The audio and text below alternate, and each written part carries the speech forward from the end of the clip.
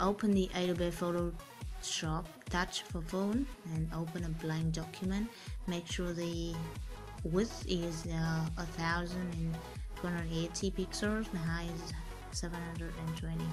Now tap on OK. So here already you have a got a blank transparent background.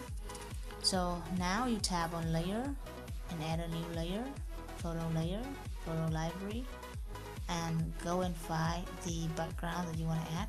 Here I've already downloaded one which is really fits for me and there you can see. Now you want to scale it make sure that the background blind transparent background is covered. Now tap on tick button to see. Now tap on the layer tap on add new layer photo layer photo library and you're gonna add a phone frame like this but make sure that the phone frame is also in a transparent background. So I will use the PicsArt one of the software application on Android to make it. So uh, if you don't know how to make this phone frame to be transparent make a nice frame uh, for your Android screen video then just go and click on the link down below this video. You want to see that? Uh, the video that I already uh, show you how to do this okay? So now I've got the phone in. I'm gonna scale it. Make sure that I'm gonna scale it a little bit bigger so it's enough for seeing everything.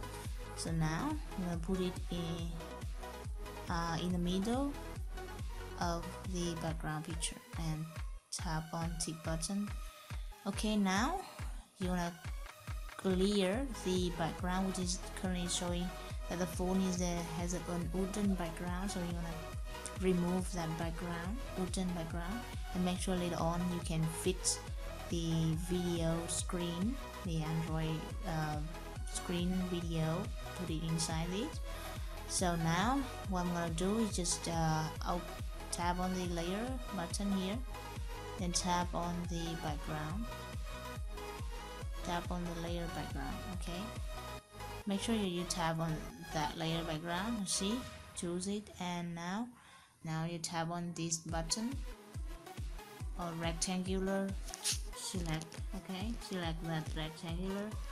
Now you will draw a rectangular uh, kind of shape here okay make sure like that. Now tap on edit and tap on clear.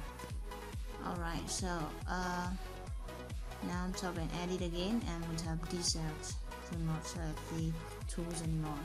So guys right now you're gonna get you already get a background with a phone frame on that. Nice background with a phone frame on that. So now the next step is you're gonna save this uh, background picture. So you want to tap on this button here and you want to tap on save to gallery.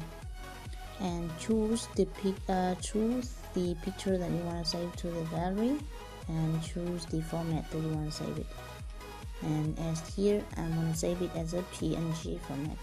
So to make the mobile frames and the cute background to be fit in our Android screen video we need our uh, application name KineMaster so I've downloaded from Google Play Store. And now we're gonna go with that. Tap on this button and tap uh, in empty projects to start a new project. Okay now we're gonna tap on media browser where you're gonna add a uh, Android screen video. I have I have a record uh, some of the screen video here.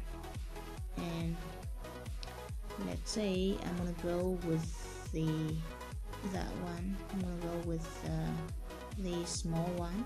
So here I'm gonna go with it. Okay so I'm gonna tap on this button to make sure that it's already chosen. Now you will already get the videos inside that. Now you tap on layer tap on image to add a layer image layer. Now you to go and tap on Adobe Photoshop Touch and find that picture that image and add it. Right now you wanna scale it until where it starts where the where this video starts okay? Cut it where the video stop. All right so you see the phone is there and now we're gonna scale this uh, image to be in the full screen it fits in the screen of KineMaster I think that fits already. So now tap on that to already choose. So now you tap on the video and tap on crop image. And you want to crop that. You tap on the start position and tap on the equal button and tap on the end position.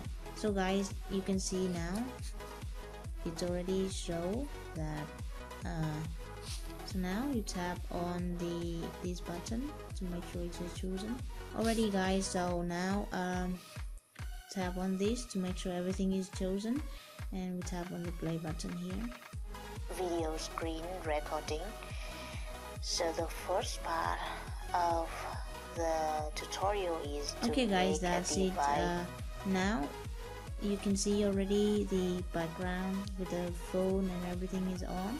So now you want to tap on the exit button or you want to tap on the uh, back button on your phone and wait for the uh, the video to be showing here. So you're gonna tap on the video and you're gonna tap on the share button where you have an option to save the video